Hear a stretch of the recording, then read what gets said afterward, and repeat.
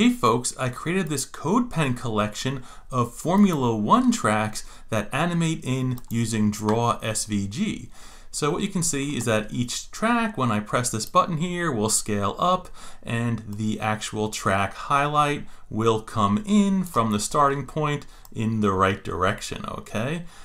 Took me a little while to get the right process down for this, but at the end of the day, it's just two tweens inside of a GSAP timeline hooked up to GS Dev tools.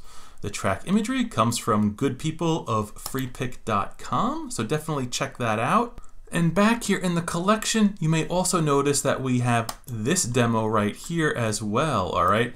I've used this a bunch in the GreenSock forums to help people with pinning and horizontal scrolling, all right? The trick here is that when we get to the last track, which is what? Japan, things are gonna unpin and move up.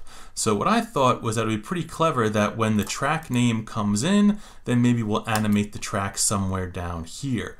A big part of this whole setup here is that it's fully responsive, meaning I can go super small. The names are going to change size, but you'll see that whenever Japan comes fully into view, that's when, boom, the pinning stops and it all works perfectly in both directions, all right? So I've got a bunch of uh, code here that handles that. It's really not a lot, but again, it uses my favorite GSAP tricks. So again, the end goal is to get this gallery here to then animate the tracks as the words sort of come in. And I haven't quite yet figured that out, but stay tuned. All my students are gonna get all of this first at creativecodingclub.com. See you there.